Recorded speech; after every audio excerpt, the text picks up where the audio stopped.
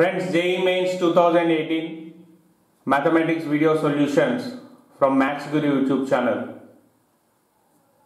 So observe this question, this question from probability. A bag contains 4 red and 6 black balls.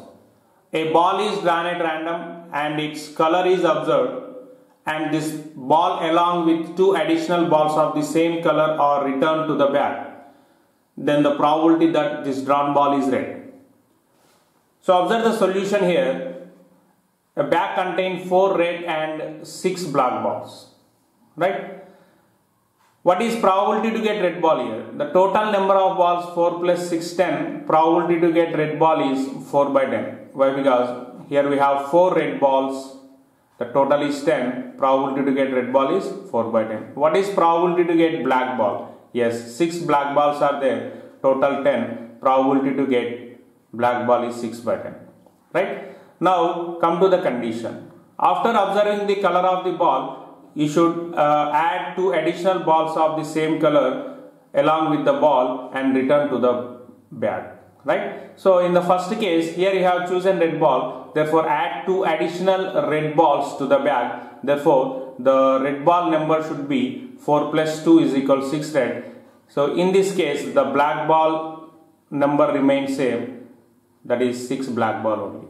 Why? Because here you have chosen red ball, therefore add 2 red balls.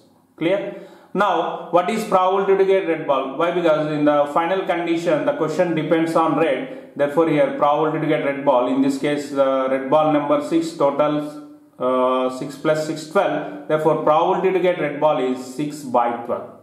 Clear?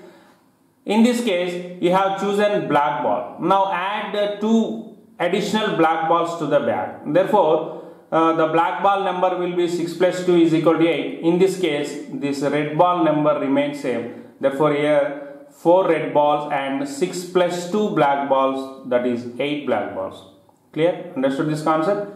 Here you have chosen black ball, therefore add 2 black balls to the bag. Therefore, black ball number 6 plus 2 is equal to 8. Red ball remains same. From here, the question final condition depends on red Therefore, what is probability to get red ball in this condition? Total balls 8 plus 4, 12. Red balls 4. Therefore, probability to get red ball is 4 by 12.